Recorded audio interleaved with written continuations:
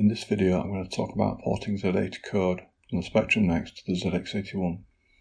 My original game Caverns was first developed on the ZX81. It was around 16k of, Z- of Z80 code. And while the gameplay was pretty much finished, I started to run out of space on the, in the 16k when I was adding the menu screens.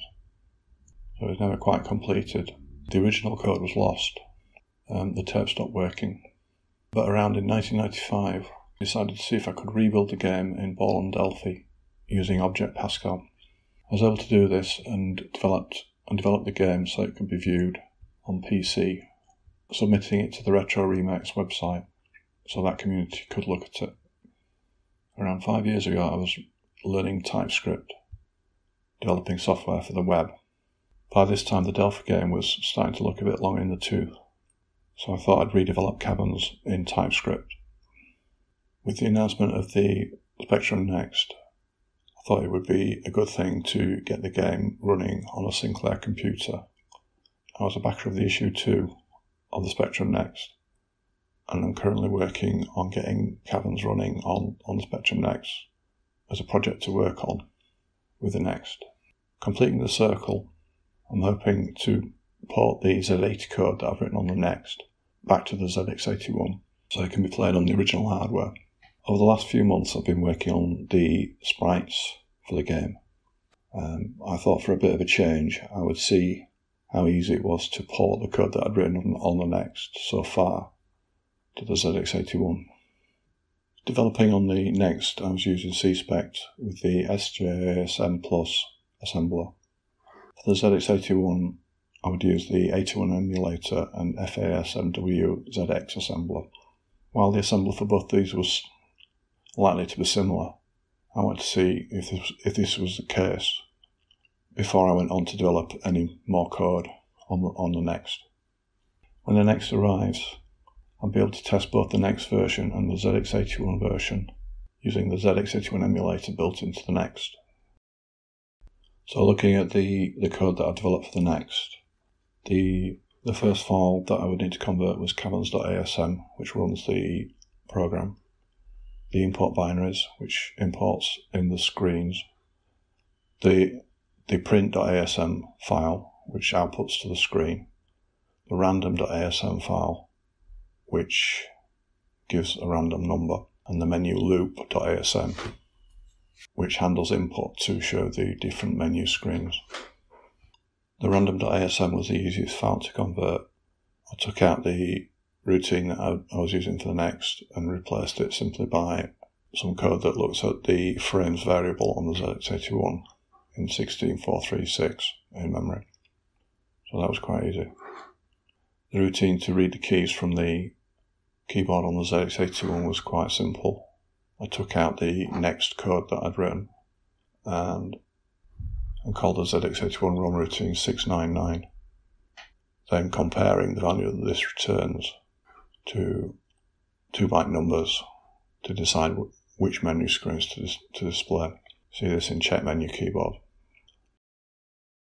The changes to the print.asm file were the most major, and and I stripped out the Spectrum Next routine, which holds um, a representation of the screen in memory took this out and directly accessed the ZX81 screen held in memory, reference to in 16396.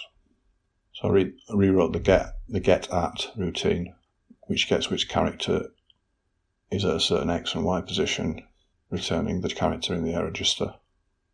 Rewrote the print at routine, doing something similar to get the location and then overwriting my character if it wasn't a, a 118 character, which is a new line character. So writing in the ZX81 character into the location. When I hooked all this code together, I found that um, using the print at routine to display the screens was quite slow. So I used um, a routine that I developed two years ago in the 81 emulator quick print screen, which displays the game screens uh, much more quickly.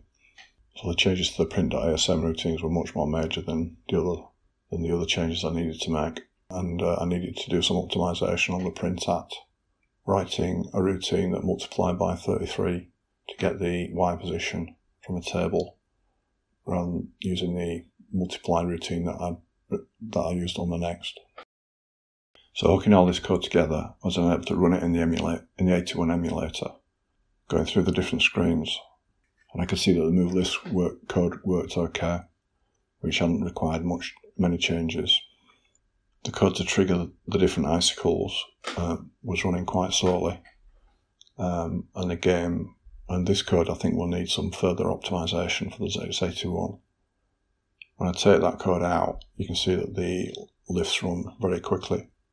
So the lifts themselves won't need any optimization. But the code that scans through looking for cross characters and the inverted X characters will need some optimization in the final version.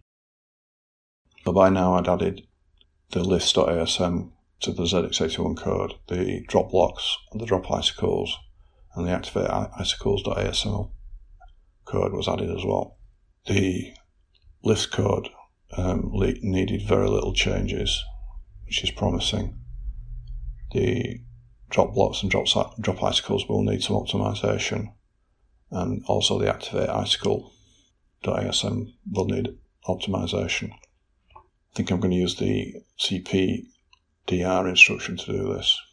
So looking at lifts.asm, I can see that I only had to actually make one change. Looking at it beyond compare, this was with the add e instruction, where I needed to use add a comma e to do the same thing. So a slight difference there in the compilers. My general impression is that CSpect will be the easier tool to continue working on the code with, as it has better debugging. Um, so I'm going to carry on working on the code in the on the next platform with a final port back to the ZX81 at the end. So in conclusion, I spent less than a day um, porting to the ZX81 the code that I'd done.